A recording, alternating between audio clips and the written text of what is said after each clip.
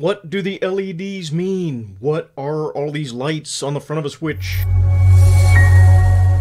Hey, it's Clint Garrett, Ace Networker, and I want to welcome you to this video. In this video, we're going to talk about the LED indicators on the physical ports of a switch. Each NIC interface, each physical port on a switch, and even those on routers and other networking devices, will have indicator lights, LEDs, that will help when troubleshooting connectivity issues on a computer network, both with verifying the connections and cables are indeed working and working correctly, and with determining more exactly what may not be working if one or more of those connections stop working or passing traffic. These LED lights are to give a technician, admin, or engineer a quick glance indication of what may be going on on that particular physical port just by looking at it. Now, I'll preface this short video with a statement that what I'm about to show you is not a blanket description of what these indicator lights mean on every brand of switch. There are several network switch manufacturers out there. There are quite a few, and they're making all types and speeds of network switches. You'll want to read your owner's manual or your documentation for the specific switch you're using or looking at to confirm what I'm telling you about the LEDs is indeed correct. But for quick reference, I'm going to show you the basics for what each of the LED lights on each NIC port of a switch typically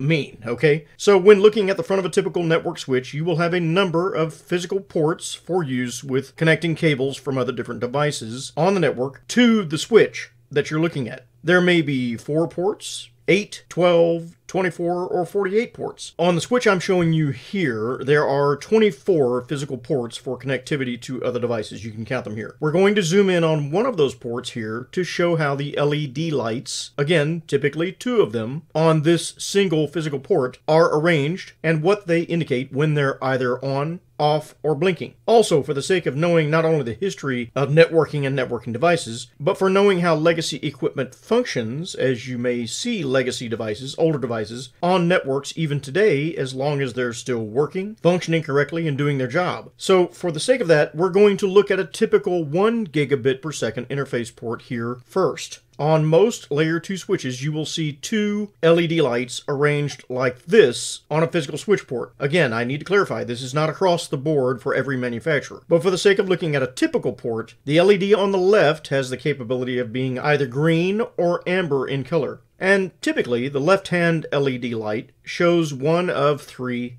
things. If it's off, it means there's no connection on this port, so the port may be administratively shut down in the switch configuration, or it's being blocked by something like a protocol like Spanning Tree after it detected a loop on the network, or if it is off, it may indicate that this 1 gigabit per second physical port is only working at 10 megabits per second. If the LED light is on, and it is displaying green in color, it means there is a connection. It's not administratively down or shut down, and it's passing traffic at 100 megabits per second. And if this left-hand side LED light is on and it's amber, it means this 1 gigabit per second port is passing traffic at its full operating capacity of 1 gigabits per second, okay? So let's say you know the connection you're checking on is the first port on this particular switch. You walk into the network component room, you look at the first port on this switch, and you see the left-hand light off. Well, again, you know it's either not connected or it's only working at 10 megabits per second speed for whatever the reason. If you see it lit green, it's connected, but it's only connected at 100 megabits per second. And if it's lit solid amber, it's connected and it's working at 1 gigabit per second. Full capacity for that port on the switch.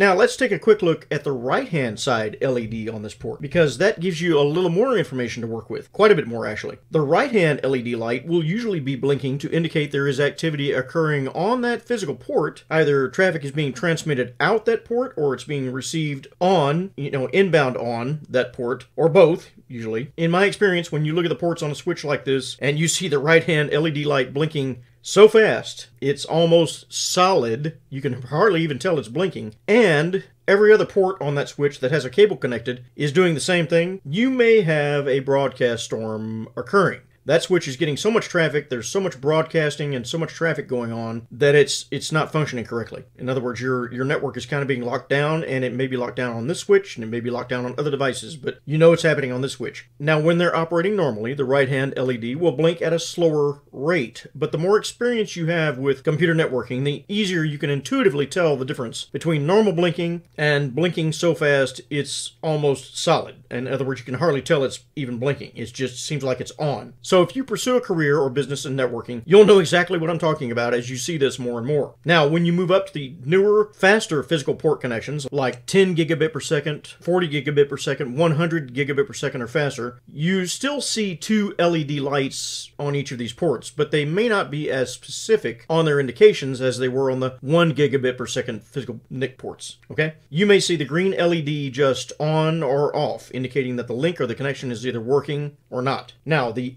amber activity light can still give you an indication, again, depending on how fast or slow it's blinking, on how furious or calm the traffic on that port really is. So that's a basic rundown of the LED indicator lights on each physical port of a network switch, and I hope this helps. Again, read the documentation or the owner's manual on a specific switch you're looking at to confirm what I've said here is accurate. More than likely it is, but depending on the brand and manufacturer, it may not be, so make sure. If you're just starting out in computer networking and you want to pursue a career or business in the field, be sure to check out my free beginner's networking course where I'll take you from zero to network expert in 30 days. The link is in the description, and I'll see you in the next video.